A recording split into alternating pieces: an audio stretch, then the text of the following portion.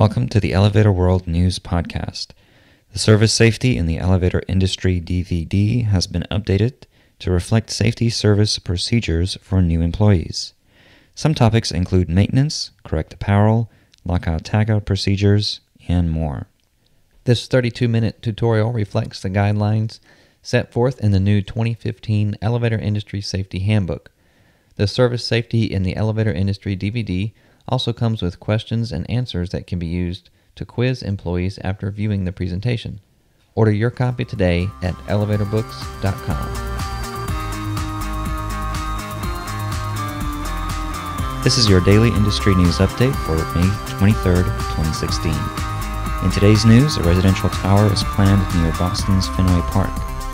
California State University claims its elevators are in good shape despite expired certificates.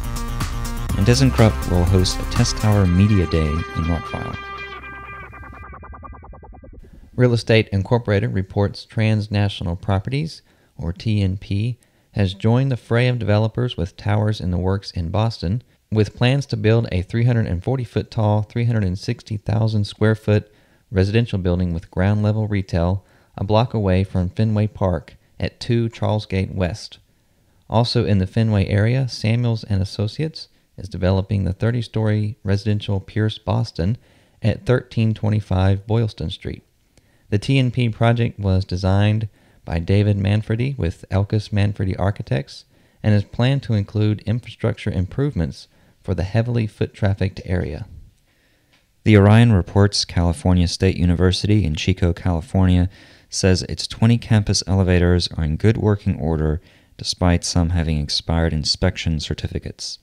The university says employees from ThyssenKrupp, company it pays 150,000 US dollars a year for elevator service and repair, joined state inspectors starting in early April and hopes to have all the certificates up to date within a few weeks. Campus official states the inspection and renewal process is often lengthy. On June 1st, ThyssenKrupp plans to host an exclusive event at its new test tower in Rottweil, Germany. CEO Andreas Schierenbeck and Rottweil Mayor Ralf Broß will present an overview of the tower and describe its impact on Rottweil. The event will include a tour of the tower and a visit to Germany's highest viewing platform incorporated into the tower and expected to be a major tourist attraction for the area.